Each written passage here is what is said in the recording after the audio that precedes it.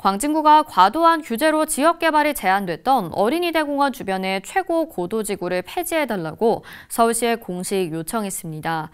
앞으로 지역 일대 개발 가능성은 서울시가 어떤 결정을 내리느냐에 달려 있는데요.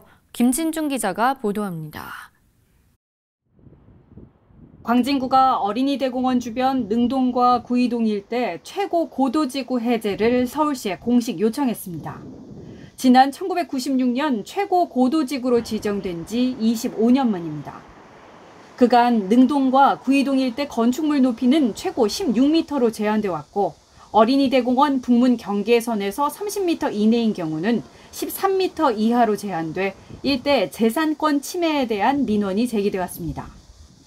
어린이 대공원 주변 최고 고도지구 폐지를 위해 주민 의견 수렴과 구의회 의견 청취 등 공식 절차를 진행해온 광진구.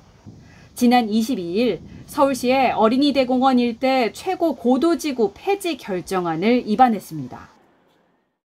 예, 우리가 입안 절차를 진행하고 나서 아, 예를 들어 서울시가 부결하면은 네. 또한 5년 동안 동시에 또 입원하기도 힘들잖아요. 사실은 좀 여러 가지 여건이 무르익을 때까지 좀 기다린 감도 있는데 음. 이번에는 여러 가지 좀 여건이 무르익고 특히 최고 고도지구라는 저 영도지구에 대한 어, 서울시에서 다시 한번 들여다보는 것을 서울시도 추진을 하고 있습니다. 그래서 거기에 맞물려 가지고 우리가 좀 선제적으로 최고 고도지구 해제 요청 대상은 어린이 대공원 주변 능동 구이동 일대 21만 9천 제곱미터입니다.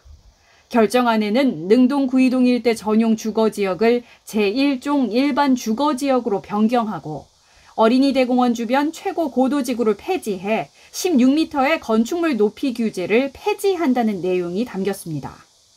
군은 고도지구 해제 이후의 계획적인 개발을 위해 천호대로 남측 지구 단위 계획을 수립하는 한편 서울시와의 협의를 통해 내년 상반기까지 심사가 마무리되도록 하겠다는 구상입니다. 어린이대공원 일대 최고 고도지구 해제를 위해서는 서울시 도시계획위와 시의회의 심사 통과 절차가 남아 있습니다. BTV 뉴스 김진중입니다.